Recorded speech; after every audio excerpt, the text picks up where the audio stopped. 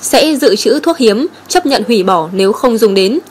Kính thưa quý vị, tại cuộc họp báo cung cấp thông tin y tế tại trụ sở Bộ Y tế, ông Nguyễn Việt Dũng, Phó Cục trưởng Cục Quản lý Dược Bộ Y tế cho biết, hiện Cục Quản lý Dược đang triển khai xây dựng danh mục thuốc thiếu, có nguy cơ thiếu hàng năm để có kế hoạch chủ động đảm bảo nguồn cung với các thuốc. Đại diện Bộ Y tế cho biết, trong nhiều năm qua, Bộ Y tế đã xây dựng và ban hành danh mục thuốc hiếm, thuốc không sẵn có và danh mục các thuốc này thường xuyên được điều chỉnh nhằm giúp các cơ sở khám chữa bệnh có biện pháp chủ động trong việc đảm bảo đủ thuốc hiếm đáp ứng nhu cầu điều trị của cơ sở. Bên cạnh đó, Bộ Y tế đã trình chính phủ ban hành theo thẩm quyền một số cơ chế để đảm bảo nguồn cung đối với thuốc hiếm, thẩm định nhanh, cho phép chuyển nhượng thuốc hiếm giữa các cơ sở khám chữa bệnh. Ông Dũng cũng khẳng định hiện nguồn cung tổng thể với các thuốc hiếm là không thiếu, thuốc hiếm chỉ thiếu ở một số cơ sở y tế, nguyên nhân do công tác dự trù mua sắm. Có những loại thuốc hiếm nhiều năm không sử dụng đến, không dự trù mua sắm, dẫn đến khi có phát sinh bệnh tật mới mua sắm thì không kịp. Ngoài ra thực tế ghi nhận một số thuốc hiếm được cơ sở y tế mua về không sử dụng hết do không có đủ bệnh nhân, phải hủy bỏ khi thuốc hết hạn. Hiện Bộ Y tế đang triển khai xây dựng danh mục thuốc thiếu, có nguy cơ thiếu hàng năm để có kế hoạch chủ động đảm bảo nguồn cung với các thuốc này. Đại diện Bộ Y tế cũng cho biết, mới đây, chính phủ đã giao Bộ Y tế nghiên cứu, xây dựng cơ chế đảm bảo thuốc hiếm, thuốc hạn chế nguồn cung và trình cấp có thẩm quyền phê duyệt. Bộ Y tế đang triển khai và dự kiến đề xuất một số cơ chế đặc thù về tài chính như là sẽ bố trí phân bổ nguồn ngân sách nhà nước để cho các cơ sở khám chữa bệnh chủ động dự trù các mặt hàng thuốc hiếm, thuốc hạn chế nguồn cung.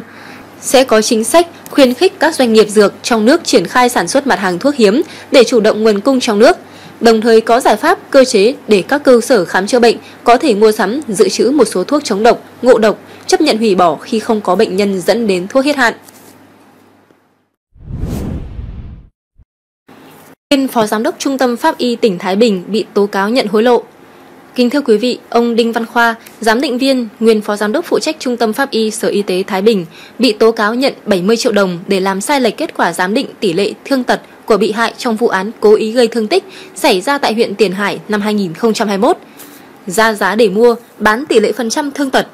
Vừa qua, ông Nguyễn Văn Dũng, 55 tuổi, ở phố Hùng Thắng, thị trấn Tiền Hải, huyện Tiền Hải, tỉnh Thái Bình, gửi đơn và bằng chứng tố cáo ông Đinh Văn Khoa, giám định viên, nguyên phó giám đốc phụ trách Trung tâm Pháp y Sở Y tế Thái Bình, nhận hối lộ để thay đổi, làm sai lệch kết quả giám định thương tật của bị hại trong vụ án cố ý gây thương tích xảy ra vào tháng 6 năm 2021 tại huyện Tiền Hải, tỉnh Thái Bình. Ông Dũng đã gửi đơn tố cáo này đến cơ quan điều tra, Viện Kiểm sát Nhân dân tối cao và các cơ quan tố tụng tại tỉnh Thái Bình. Theo nội dung tố cáo, ngày 7 tháng 6 năm 2021, do mâu thuẫn giữa gia đình ông Dũng và gia đình ông Nguyễn Văn Vượng, hàng xóm xảy ra cãi vã xô sát. Con trai ông Vượng là anh Nguyễn Văn Hà gây thương tích cho ông Dũng, tỷ lệ thương tật là 12%. Con trai ông Dũng là anh Nguyễn Thành Trung gây thương tích cho ông Vượng, tỷ lệ thương tật giám định lần 1 tại Trung tâm Pháp y Thái Bình là 38%, tỷ lệ thương tật giám định lại lần 2 tại Viện Khoa học Hình sự Bộ Công an giảm xuống còn 34%. Anh Nguyễn Thành Trung, con trai của ông Dũng, bị can trong vụ án cho biết, sau khi vụ án xảy ra, trong quá trình giám định thương tật của hai bị hại là bố tôi và ông Vượng, lúc chuẩn bị ban hành kết luận thì qua môi giới, ông Đinh Văn Khoa chủ động đến nhà tôi ra giá 100 triệu đồng để mua tỷ lệ thương tật của ông Vượng giảm từ 38% xuống 31%, đồng nghĩa việc tôi chỉ bị khởi tố khoản 2, ra giá 80 triệu đồng để mua tỷ lệ thương tật của bố tôi từ 8% tăng lên thành 12% để có đối trọng với nhà ông Vượng. Nếu tôi phải đi tù thì con ông Vượng là anh Hà cũng phải đi tù. Vẫn theo anh Trung, gia đình anh chỉ đồng ý đưa 80 triệu đồng cho ông Đinh Văn Khoa để tỷ lệ thương tật của bố anh, ông Dũng là 12%, giao trước 70 triệu đồng, nợ lại 10 triệu đồng. Sau này khi gia đình tôi và luật sư phát hiện ông Khoa không khách quan, cố tình can thiệp sửa chữa hồ sơ giám định để tăng tỷ lệ thương tật của ông Vượng lên đến 38% nên đã vô cùng bức xúc, đòi lại 70 triệu đồng trước đó ông Khoa đã nhận của gia đình tôi. Ông Khoa sau đó gặp bố tôi tại quán cà phê ở thành phố Thái Bình, trả lại đủ 70 triệu đồng. Kết quả giám định tranh lệch bất thường, Đáng chú ý, gia đình ông Dũng và luật sư phát hiện giữa hồ sơ bệnh án điều trị của ông Vượng tại Bệnh viện Đa khoa tỉnh Thái Bình với hồ sơ trưng cầu giám định tại Trung tâm Pháp y Thái Bình không khớp với nhau. Cụ thể, hồ sơ bệnh án của ông Vượng tại bệnh viện cho thấy kết quả chụp CT lồng ngực ông này bị gãy 5 xương sườn bên trái, gãy hai gai ngang cột sống bên trái. Kết quả chụp CT lồng ngực của ông này tại cơ quan giám định trên cùng một loại máy chụp lại gãy 5 xương sườn bên trái và gãy 5 gai ngang cột sống bên trái, thêm 3 gai. Luật sư của gia đình tôi yêu cầu trưng cầu giám định lại tỷ lệ thương tật của ông Vượng. Tại Viện Khoa học Hình sự, Bộ Công an cho biết kết quả giảm từ 38% xuống 34%, tức giảm 4%. Kỳ lạ là lần giám định sau lại hơn một năm lại có thêm phần thương tích vỡ xương đá phải, tức 16%, được đưa vào hồ sơ trưng cầu, trước đó không hề có. Như vậy, ông Vượng từ tỷ lệ thương tật 38% giám định lần 1, sau khi giám định lại đã giảm 4%, còn 34%. Nếu trừ tiếp 16% thương tích phát sinh như vết thương cũ của ông Vượng không phải do tôi gây ra, thì chỉ còn 18%. Giữa hai kết quả giám định này chênh lệch nhau đến 20%, lẽ ra tôi chỉ bị khởi tố ở khoản 2 thì lại bị khởi tố ở khoản 3. Đề xuất lắp mái che chống nắng đường trung tâm Sài Gòn Kính thưa quý vị, Sở Quy hoạch và Kiến trúc đề xuất lắp mái che dọc vỉa hè đường Lê Lợi, quận 1, tạo bóng mát, che mưa, hình thành không gian đi bộ, kinh phí 20 đến 30 tỷ đồng. Nội dung vừa được cơ quan trên gửi Ủy ban nhân dân thành phố Hồ Chí Minh liên quan giải pháp cải tạo cảnh quan đường Lê Lợi sau khi tuyến metro số 1 Bến Thành Suối Tiên hoàn trả mặt bằng. Mái che dự kiến được lắp dọc vỉa hè tuyến đường, kết cấu khung sắt lập tôn, đóng trần vươn ra ngoài chừng 4 mét. Vật liệu của mái sẽ sử dụng loại bền, đẹp, thi công nhanh, kết hợp thiết kế màu sắc hài hòa với cảnh quan chung ở khu vực. Kinh phí lắp đặt bao gồm mua sắm vật tư, nhân công, thi công. Theo Sở Quy hoạch và Kiến trúc, đường Lê Lợi hiện đã thông thoáng nhưng cảnh quan cùng các tiện ích phục vụ hoạt động mua sắm, đi bộ của người dân, du khách chưa đủ đáp ứng. Trong điều kiện chưa thể bố trí ngay mảng xanh đủ lớn để tạo bóng mát cho vỉa hè, giải pháp thiết kế mái che sẽ giúp chống nắng mưa, tạo điều kiện cho người đi bộ cũng như hoạt động kinh doanh dọc bên.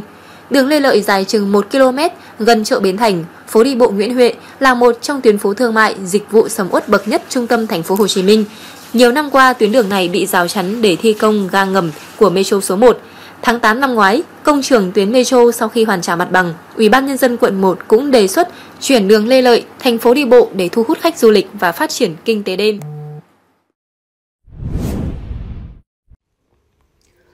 Ngôi nhà hai tầng nằm giữa đường. Quý vị thân mến, do chưa thống nhất được phương án đền bù, ngôi nhà hai tầng của gia đình bà Nguyễn Thị Luyến nằm giữa đường Liên Phường ở thị xã Đông Triều. Năm 2021, 300 mét vuông đất và nhà của gia đình bà Luyến ở khu Mễ Xá 2, phường Hưng Đạo, thị xã Đông Triều, nằm trong số 151 hộ dân tổ chức bị thu hồi để làm đường nối ngã ba đường tránh Hưng Đạo đến khu đô thị Hồng Phong. Đến nay, con đường dài 2,3 km, rộng 7 m đã hoàn thành, giúp người dân đi lại thuận tiện.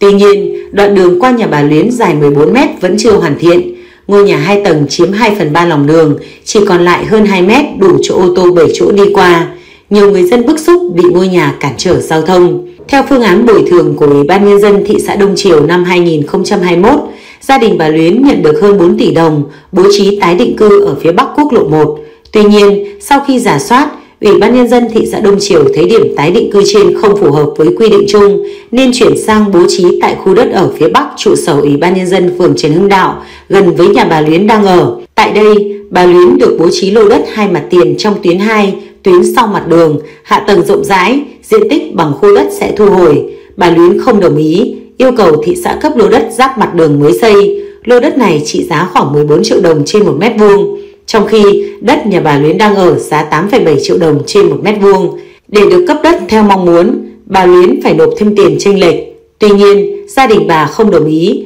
chúng tôi thấy không có căn cứ để giải quyết. Ông Lê Văn Độ, Phó Chủ tịch thị xã Đông Triều cho biết,